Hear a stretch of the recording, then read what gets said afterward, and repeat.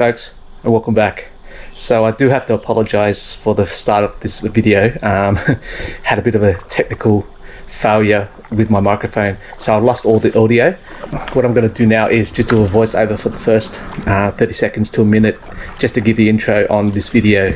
Well I've been missing in action for close to a month now and uh, got to say it's good to be back. In this video today we're at, at Lake Lyell on the agenda is just an overnight camp and uh, a kayak fishing session. For those who've been following me for quite some time, that uh, freshwater fishing is something that's quite a bit of a challenge for me. So today I'm hopefully going to try to break my duck and see if we can get onto some fish.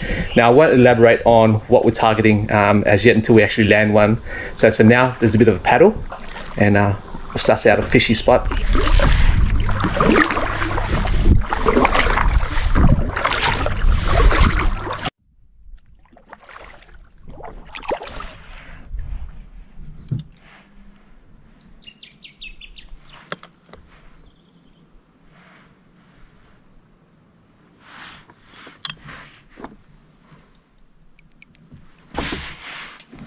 Okay.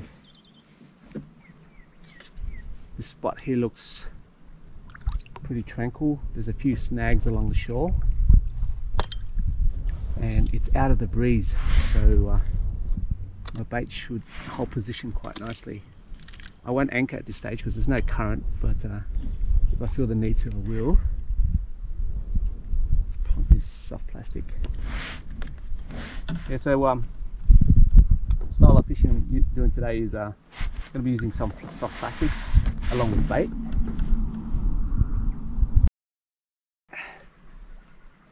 It's not a big one, but still a good start.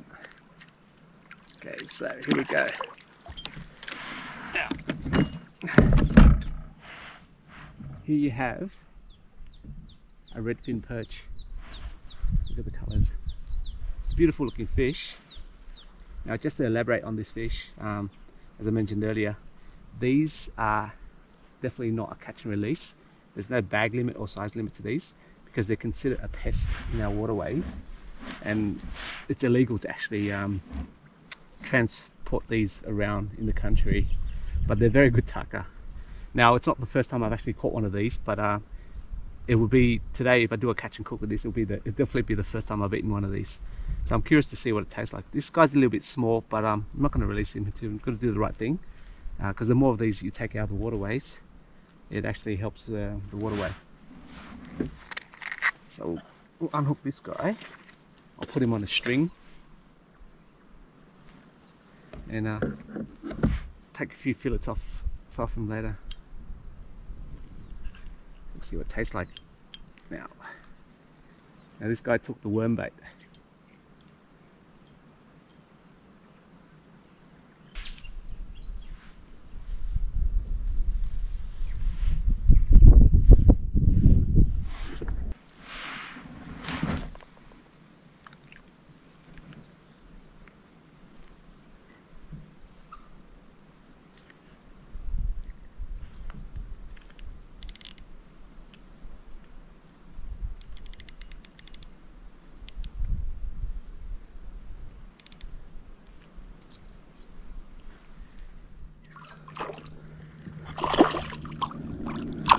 Ah.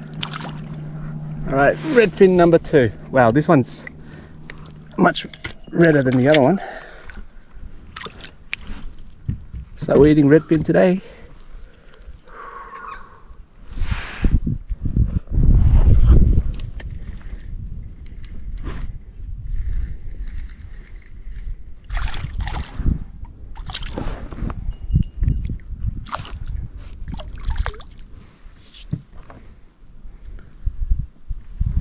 Redfin number three. This one was just right on the lip.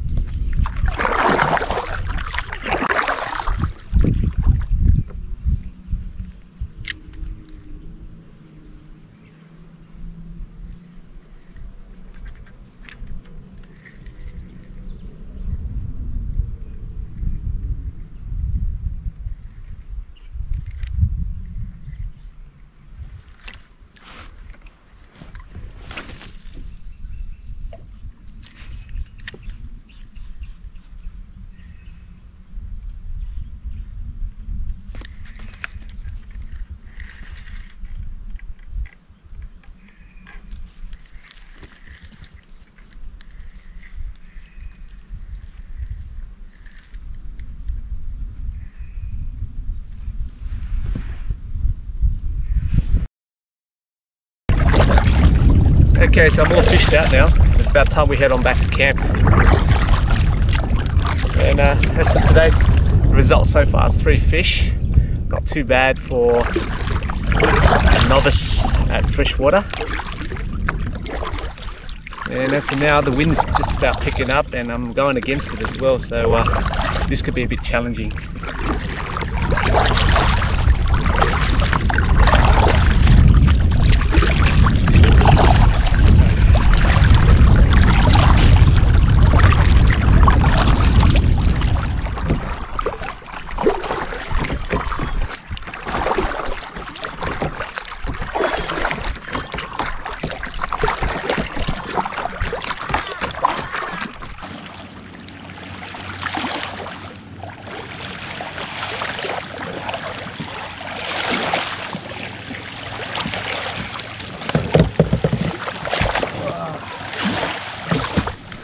Okie dokie. So we're back at camp now.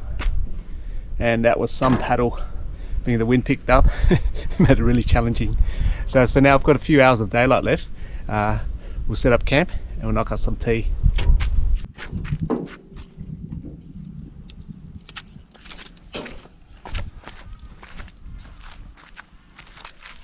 Okay, so camp's all set up. So I'll just show you um, my setup for today this is going to be home for the next night. Just right down here that's the fire pit and uh, it's my table and chair where we're going to be knocking up my dinner. And just over here another GoPro's picking it up. So I've got my portable water supply. Good mate of mine knocked this up for me. It's an ingenious invention. Basically it's just a PVC tradies pipe and uh, we've attached a tap. And there we go got water on demand. And tent's just set up here on top of the tray because um, the ground's not very flat. So it's quite Spartan my setup today but um, nonetheless it's going to be quite comfortable. So for now. Start getting the fire on and we'll knock up some dinner. Alrighty while there's still some natural light I'm going to prepare tonight's dinner. So I haven't mentioned what I was going to be making today. Um, onto the menu tonight is a hobo's dinner and um, probably would have seen it in one of my early camp cooking videos. Basically uh, hobo's dinner is just any meat. You wrap it up in a foil parcel with um, whatever condiments you like and uh, bung it straight onto the coals. And it's uh, a very efficient way of cooking while you're out in a camp spot. Don't have to bring too much gear and um, the other dish that's on the menu tonight is these redfin perch. Now um, they do grow a lot larger than these. Um, I think they got up to about two kilos. However, these fish um, are considered as a pest in our waterways, so there aren't any uh, bag limits or size limits on these. Yeah, that's so that's what happens when you introduce a species um, it's just like the carp. Yeah. yeah so with these redfin, the skin is very tough. Best way to prepare it is to take the fillets off because there's no way you're able to scale them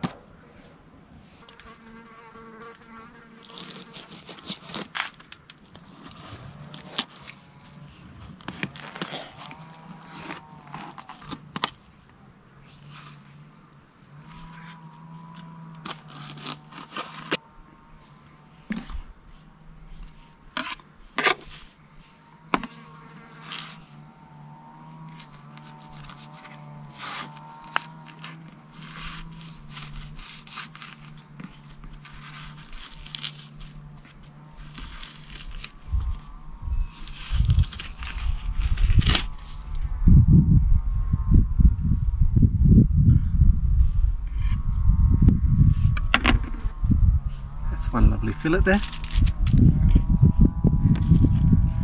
I'll leave the rib bones in because they're very small fillets so if I was to trim it off there'll be bugger all left. Right, all the prep work's done. It's time to roll up the, the parcels.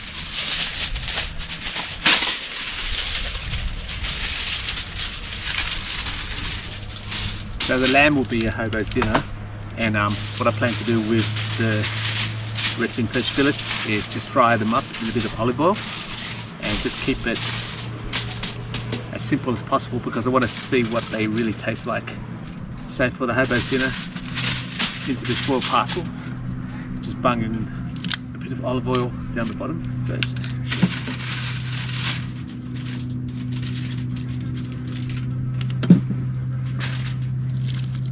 I'll give it a layer of onions.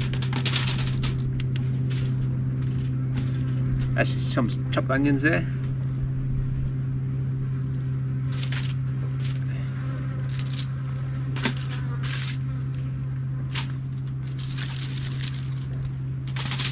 top it up with some more onions. And then finish it off with another splash of olive oil. Okay so just a bit of seasoning. I've got this um, barbecue seasoning four different types of flavors. Uh, got a piri piri lemon pepper barbecue texas and steak and chops I think I'll go with the piri piri shake some of that on there right. so all that's left to do is we'll just carefully roll this up.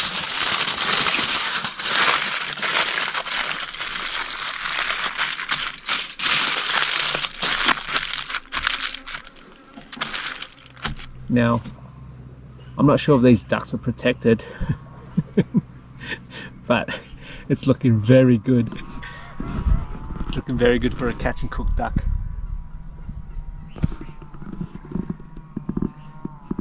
I think to be on safe side, we'll just keep them off the menu. Okay, so while we're waiting for the coals to um, die down so we can cook our tea, I'm going to knock up the redfin perch fillets uh, just as an entree and I'll, let's see what they taste like. Yeah, so the oil should be hot now and um, these fillets haven't done anything, haven't added its seasoning or marinade just want to taste them on its natural form.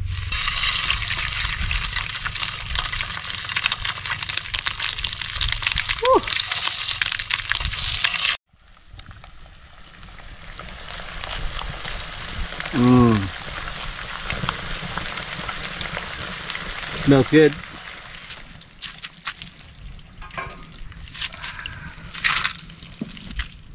Let's see what it tastes like.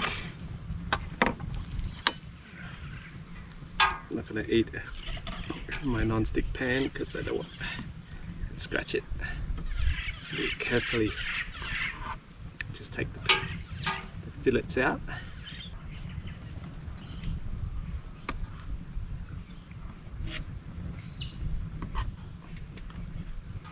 I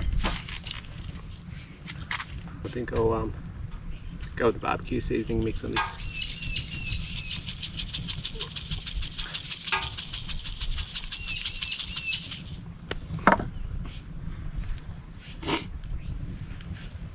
Up on that.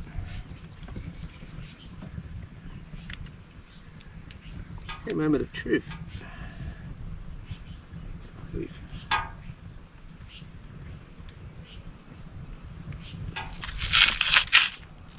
Mm.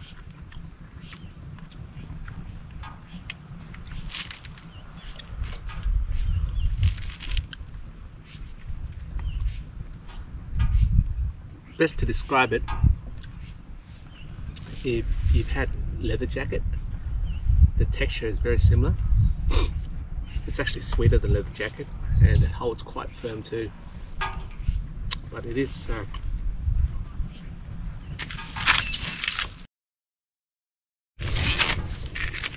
Okay folks, let's do it again.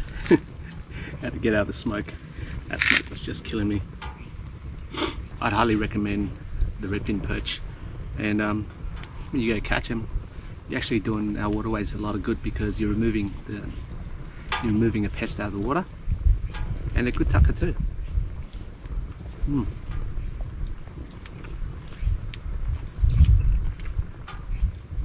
Thoroughly enjoying this. It's cooked to perfection, it's not overcooked. It's gonna be close up there. See how white and flaky it is. And I haven't uh, marinated, I've just only lightly seasoned it and you can taste the true taste of the fish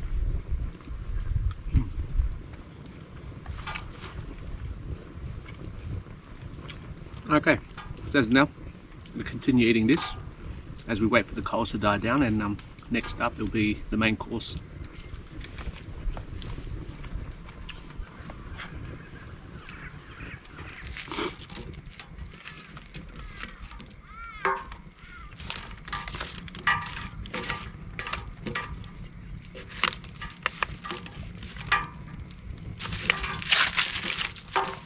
So now we'll let it do its thing for about 20 minutes and it should be time to eat.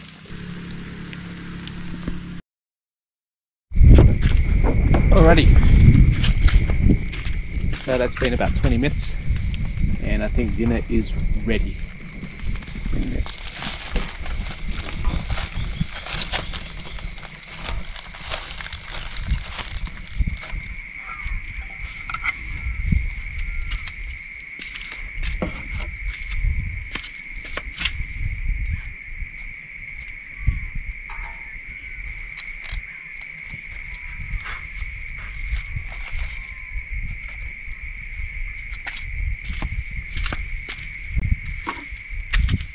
It's time to eat. Now let's unveil the parcel. Ooh. Ooh. Nice, uh, so the parcel's just spuds. Oh, oh, that looks sensational zoom it in there for a bit of a close up there. Yeah, so these spuds were just parboiled and into the parcel with a bit of olive oil and some seasoning. I've been chomping at the bit for this moment because I'm starving. Mmm. These lamb cutlets cooked to perfection, nice and tender.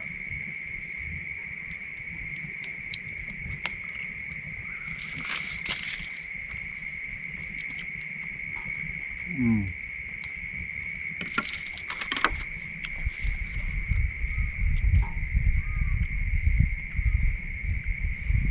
That's sensational. So, Lake Lyell. It's only a two and a half hour drive from Sydney. Awesome campground and not a bad fishing spot as I've proven to myself today.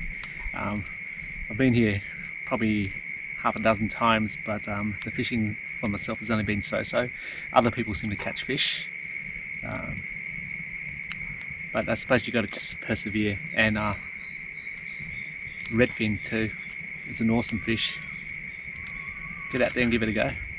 So that's for now folks. I hope you enjoyed the video. I'm going to wrap this up and uh, kick back, enjoy my dinner and call it a night. And until the next video, bye for now.